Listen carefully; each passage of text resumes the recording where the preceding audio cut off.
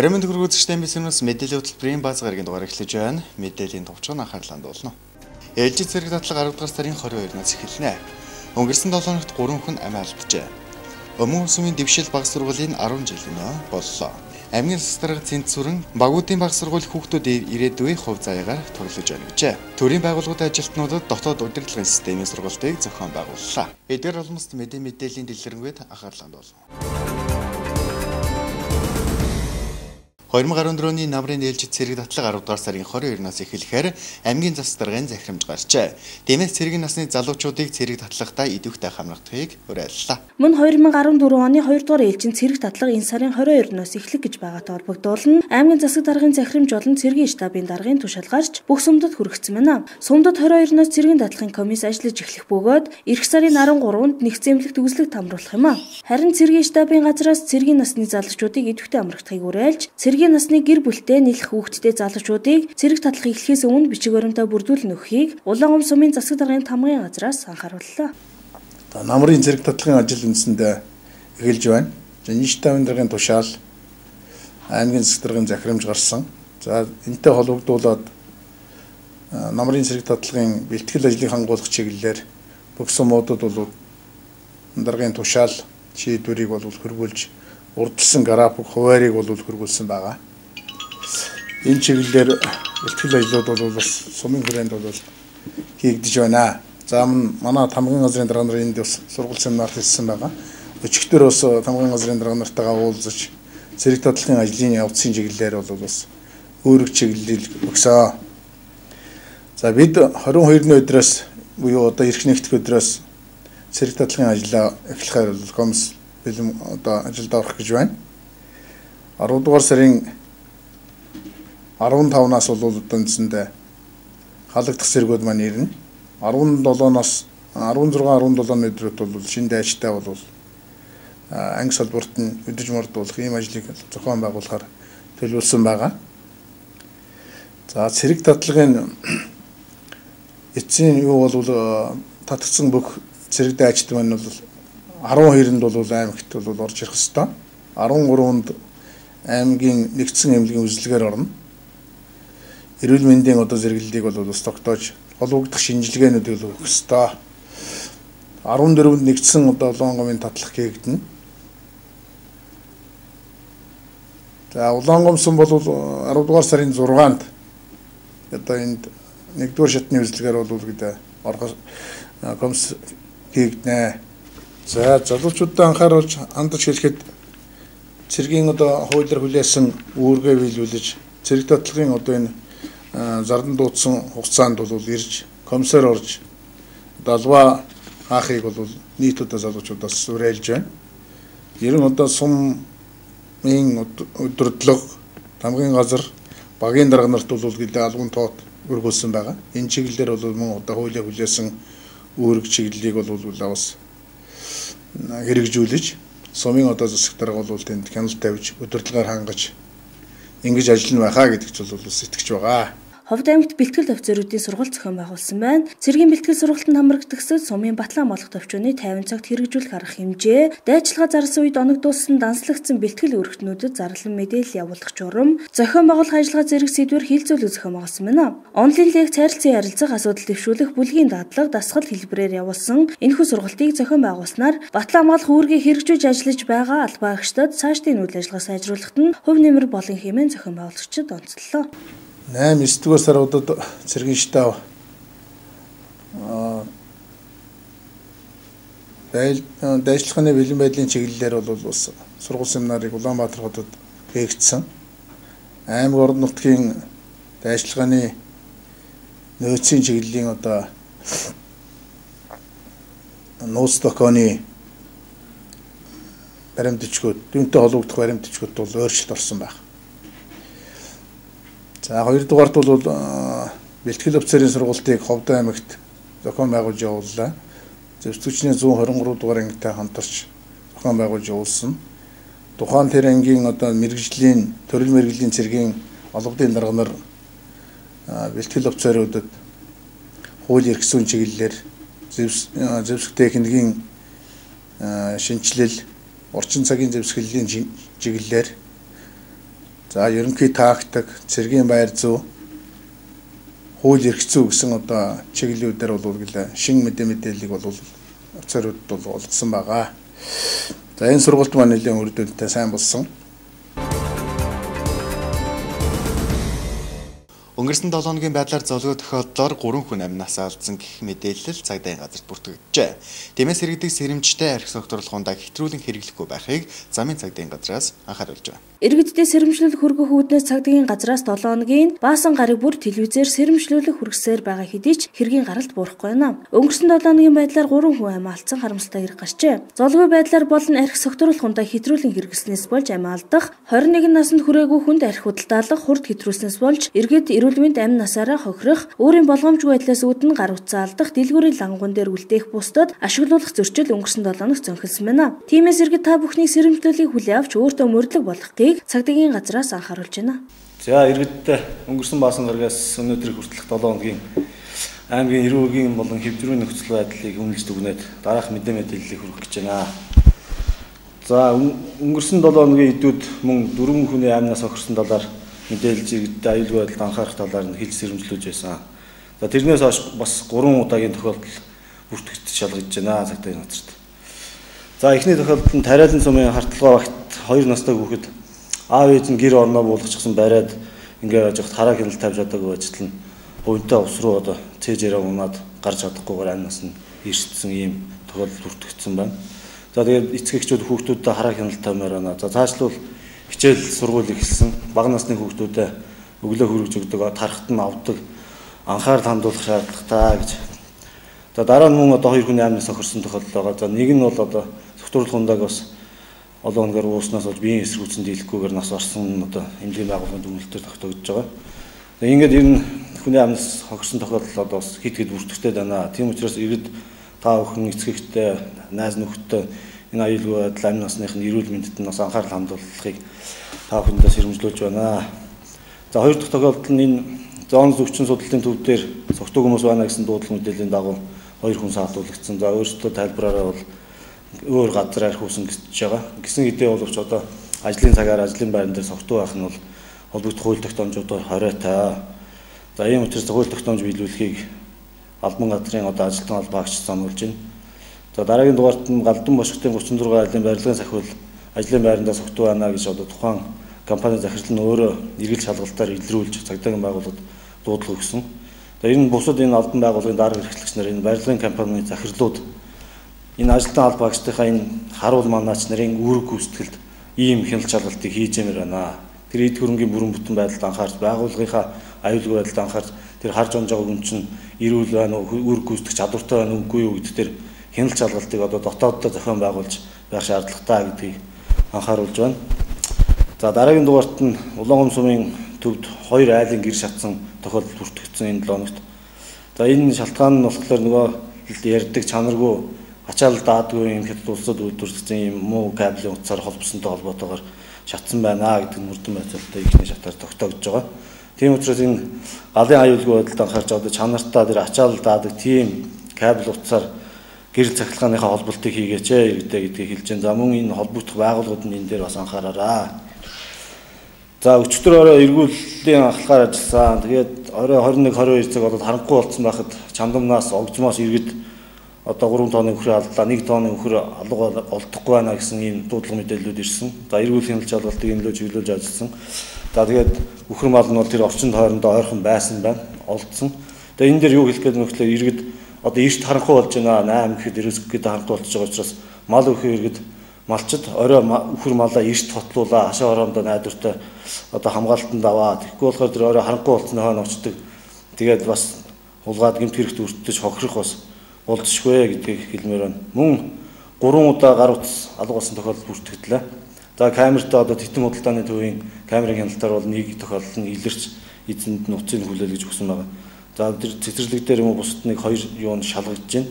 Өөрөөсөө иргэд өөрсдийнхөө эд хөрөнгөн дээр хадгалтын хамгаалтан дээр анхаарал лангуун дээр ороод тавиад мартаа явуучих юм. Хүүхдээ авч явж байгаа тэр цэцэрлэгт орчихлоо гин. Энэ өөрсдийнхөө эд хөрөнгөний бүрэн бүтэн байдалд иргэд өөрсдөө анхаарахыг сануулж байна. За төгсгөлд нь хууль зүйн яам цагдаагийн ерөнхий газар хил хамгаалах ерөнхий газраас хамтран ирүүлсэн энэ хард амхны гэмтгэрээс урьдчилан сэргийлэх чиглэлдээ ийм сэрэмжлүүлэг манай байгууллагад ирсэн ингээд хэсгийн байцаагч хэсгийн төлөөлөгч багийн цагдаа нар бол холбогдох хариуцсан баг нутагт дэвсгэртэй бол тарааж ажиллаж байгаа. За энэ дээр бол хард амх мансууруулах бодсон тогтсон өнгө хэлбэр үнэр хэмжээ гэж байдгүй юм байна. Нууж болох ерөөсө санаан дуурамгүй байдлаар нууж та яад юм байна. За ингээд аль нэг улс хил нэвтрэхдээ хүний дайвар болон мөнгө амлсан ачаа тийш эд зүйлийг авахгүй байхыг бол анхааруулж байна. За тэгээд интернет сайтуудаар танилцсан хүний ачаа тийшээг авч явал түнд хард амх нуусан байх одоо өндөр магадлалтай гэдгийг бас анхаармаар байна гэд. За тэгээд хард амхийг хилээр нэвтрүүлэхийг бол зөвшөөрсөн хэмжээ гэж байдгүй ерөөсө тэр чигээр 20 та. За та санаатай болон санамсаргүйгээр одоо ингээд тээвэрлэгч болсноор хуулийн өмнө хариуцлага хүлээнэ. Заавал одоо би мэдэхгүй байсан энэ өдрийг гэх бол яах вэ? Таны одоо ачаа дэшинд хэрвээ хил гайл дээр шалгагдаад ийм төрлийн бодис илэрх юм бол одоо та хариуцлага хүлээх нэ. За тэгэх юм бол Оросын холбооны улсад 8-аас 22 жилийн хорхил та бүгд найрамдах хятад ард улсад 7 жилээс цаазаар авах хүртэл ялтаа. Хонконгод 8-аас 23 жилийн хорхил та. За Монгол Улсын эрүүгийн хувьд бол 25 жил хүртэл хугацаагаар хорхил шийдэхээр ингэж хөөжлөгдсөн байт юм байна. Тийм учраас энэ төрлийн асуудал дээр манай аймгийн хэд болоод Орос холбооны улс за Такшкан Ирэн гэл одоо хил гадар зөндөө явдаа. Ийм юм дээр бас ойлголттой байж анхаарал хандуулахыг иргэд тавханд санаж сэрэмжлүүлэг хүргэж байна. Гэмт хэрэг зөрчил гарах нөхцөл байдал нь архи согтууруулах хундаа хэтрүүлэн хэрэглэх, гэр бүлийн маргаан ажилгүйдэл, хувь хүний ухамсар зэргээс шалтгаалдаг нь. Тиймээс иргэд та бүхэн сэрэмжтэй байж, дээр дурдсан зүйлсийг амьдралдаа мөрдлөг болгон сэрэмжтэй байхыг цагдаагийн газраас анхааруулж байна. Манай аймгийн хувийн хөгжлийн ууган сургууль болох Өмнө Говь сумын дэвшил баг сургуулийн 10 жилийн болж өнгөрлөө. Тус сургуульд одоогоор 120 гаруй сурагчид чанартай боловсрол эзэмшиж байна. Энэ саруул тангимд хуран цугларсан эрхэм хүмүүс та бүхний энэ өдрийн төмөн амар амгалан гэрж говь хангаа холсон өргөн уудам нутаг мал уян багширсан өгөөж баян хангаа хүн ардан зочломтхоо төмөн болон түрхэн залуусан совоо солгон өсвөрөгийн нэрийн өмнөөс халуун баяр хөргөж мэдчихлээ. Манай аймгийн анхны хувийн хөвшлийн сургууль болох Өмнө Говь сумын дэвшил бах сургуулийн 10 жилийн ойлж өнгөрлөө. Манай аймагт тэр тусмаа хөдөө орон нутагт нэгдэн үйл ажиллагаа амжилттай явуулсан тус сургууль одоогоор 120 хүүхэд багчууд суралцж аймаг сумын хэмжээнд аль сургуулийн хүүхдүүдтэй энэ зэрэгцэх төвшнийг мэдлэгийг эзэмшиж мөр зэрэгцэн өрсөлдөж явна. Тус хувийн хөвшлийн сургууль Монголын боловсролын шинжилэл үйл ажиллагааны ачааны хүндээс урилцж яваа гэж хэлж болно. Тийм ч учраас хувийн хөвшлийн боловсролын байгууллагыг аймгийн засаг дарга боловсролын ам болон төрийн зүгээс ихээхэн ач холбогдлогч дэмжин ажиллаж байна. Тухайлбал тус сургуульд материалыг бааз сургуулийн орчныг сайжруулах чиглэлээр аймгийн засаг дарга 2 сая гаруй төгрөгийг хандивлаж 2013-аас 14 оны боловсрол шинжилх ухааны яамны төсвөөс 90 сая төгрөгийг зарцуулан хичээлийн байрыг шинжилж өгчээ. Мөн багш нарыг ажилласан жилээс хамаар сургалтанд хамруулах ажлыг улсын сургуультай адилхан зохион болж байна. Цаашид улсын болон аймаг орон нутгийн удирдлагууд хувийн хөвшлийн байгууллагыг дэмжин ажиллахаа амлаж байна. За энэ өдөр энэ Ус аймгийн Өмнө Говь сумын дэвшил баг сургуулийн 10 жилийн ойволж байна. Тэгэхээр хувийн гөвшлийн тэд тусмаа хөдөө орон нутагт хувийн гөвшлийн баг сургуулийг байгуулад сургууль төвөмжлийн үйл ажиллагаа явуулаад хүүхэд залуучуудыг боловсролын шинжилэлд багш сургуулийн үйлчлэгчдийг идэвхтэй зохион байгуулж хамт олныг төлөвшүүлэх энэ ажлыг хийгээд 10 жил боллоо. Энэ тэмдэглэхээр бэлтгэл хангаж өнөөдөр ой арга хэмжээ эхэлж зохион байгуулж байна.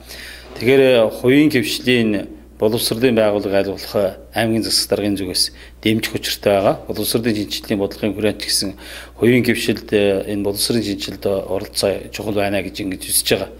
А ингэснээрээ бол төрөөс одоо боловсролын чиглэлээр хийж байгаа ажил үйлчилгээнээс бас хувийн хөвшлийн жирийн иргэд хувийн хөвшлийн оролцоо байснараа энэ ачааны хүндээс бас тодорхой хэмжээр үүрэгдсэж байгаа. За түүнээс гадна төр засгийн зүгээс энэ хувийн хөвшлийг бас дэмжиж ховсох зардлыг бол көктийн тоогоор элсүүлсэн көктийн тоогоор олгож байгаа.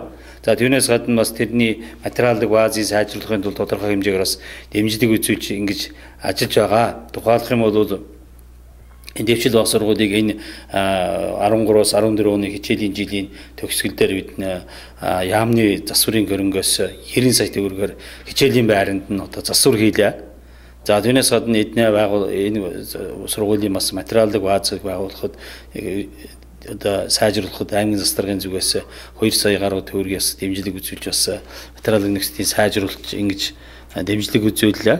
За түүнээс гадна энэ сургуульд ажиллаж байгаа багш нарыг төрийн зүгээс бас яг адил төрийн сургуультай нэгэн адил бол багш нарыг нэг жил ажилласан багш, 5 жил ажилласан багш, 10 жил ажилласан багш гэсэн ийм байдлаар бол тодорхой хэмжээгээр багш нарыг мэрэгжилд дэвшлүүлэх хөөгд үрийг сургах орчин үеийн технологи арга барилд сурах ажилд бас хамтдаган зохион байгуулж байгаа.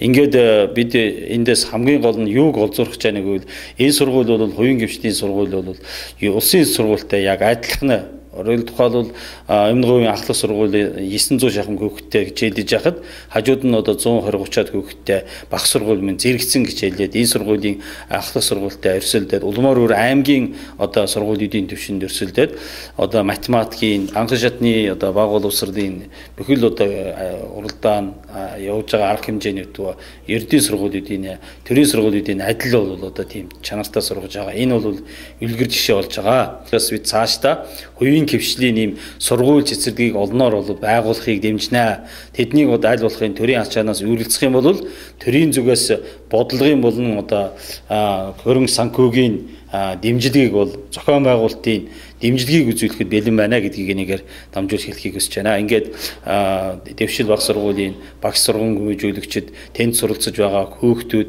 тэднийг суралцуулж байгаа эцгийгчүүд асран хамгаалагчдад энэ түүхт ойн тохиолдуулаад баяр хүргэж цаашдын сурлах хөдөлмөр ажил хүйс эрүүл сайн сайхан нэг нэг аймгийн засгийн зүгээс хүсэн өрөөж байна. Баруун төрийн сүмийн зүүн төрөний баг сургуулийг Татан булга аймгийн засаг дараагийн захирамж гараад баг хугацаа өнгөрч байгаа байлаа.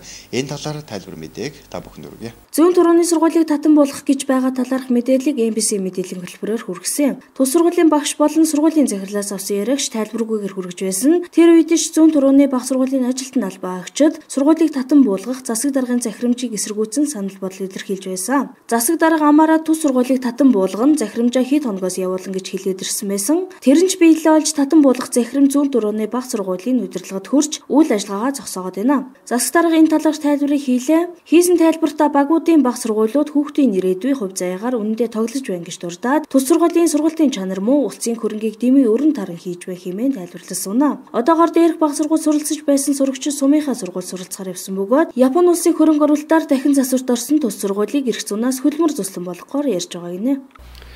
Зүүн дөрөвний сургуулийг би 2010 оноос сайн харж байгаа.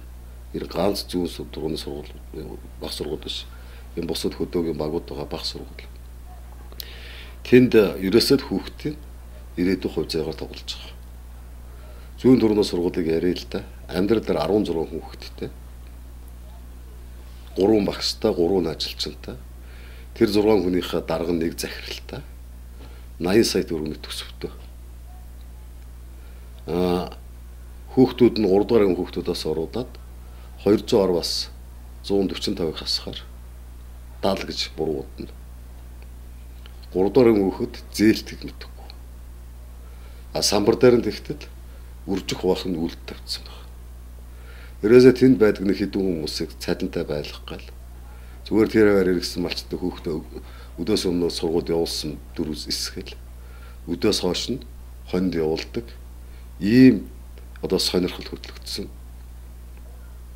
Хүмүүсд хүүхдийн ирээдүйг олж байгаад харамсаад байна. Энд байгаа хэдэн хүүхдүүд хаана юу хийж мэдээл олж авах вэ?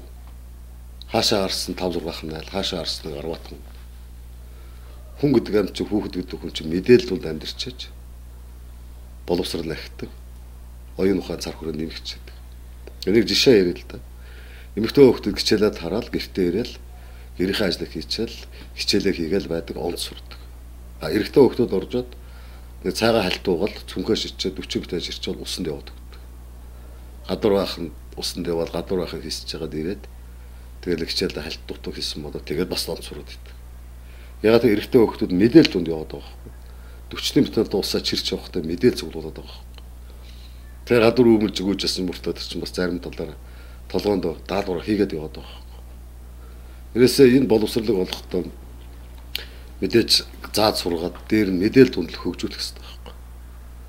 Үнэхээр одоо цөөхөн хүүхэдтэй бол тэр 3 багш 10 хэдэн хүүхэдтэй.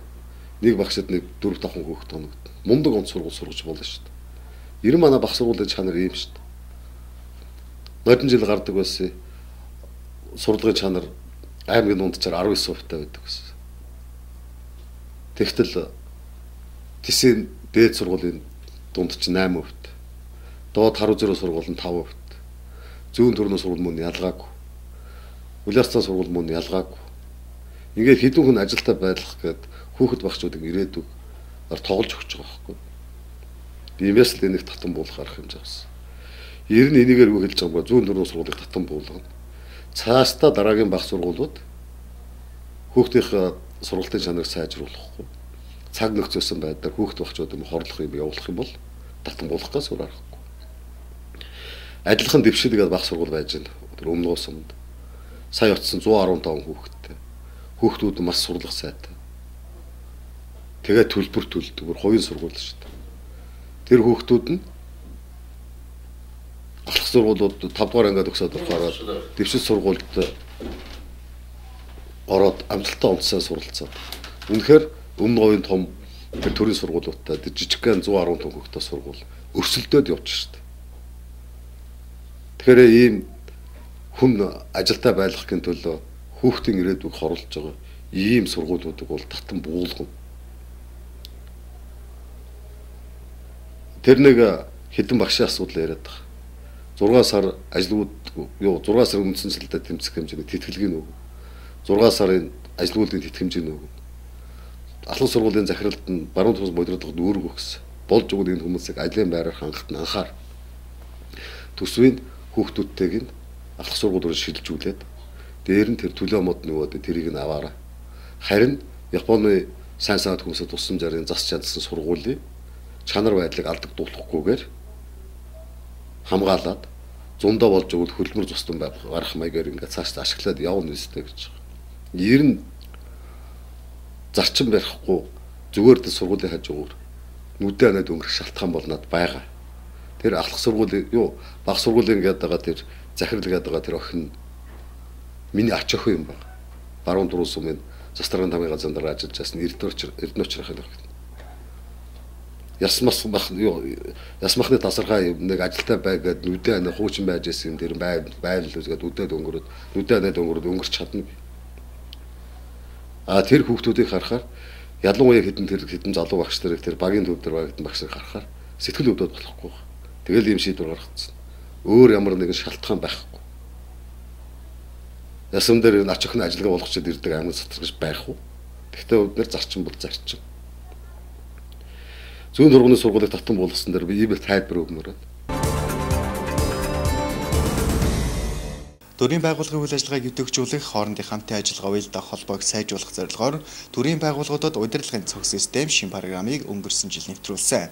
Тэгвэл тус программыг нэвтрүүлсэн Able Soft компани мэрэгжилтнүүд төрийн байгууллага ажилтнуудад сургалтыг зохион байгууллаа. Манай аймгийн төрийн байгууллагуудын хэрэглэдэг e-office буюу Diagonal Office программын дараагийн шинэ үеийн хувилбар болох Able Cloud байгууллагын удирдлагын цог систем хэрэглэгчдэд хүрч эхлэв байна. Тус хувилбар нь хуучнаасаа хэд хэдэн онцлог давуу талтай бөгөөд хэрэглэхэд улам хялбар, илүү энгийн ойлгомжтой байх тал дээр гол нь анхаарч ажилласан гэж Able Soft компани төлөөлөгчид мэдгдсэн. Тэгвэл өнгөрсөн жил манай аймагт төрийн бүх байгууллагууд удирдлагын цог систем цахим программыг нэвтрүүлсэн. Тус программыг нэвтрүүлснээр төрийн байгууллагууд хоорондоо мэдээлэл солилцох, ажил үйлчлэгээ явуулах, төрийн удирдлагын Удирд халбан тушаалтнууд цаг хугацаа орон зай харгалзахгүйгээр ажлаа явуулах боломж өрдөж байгаа юм а.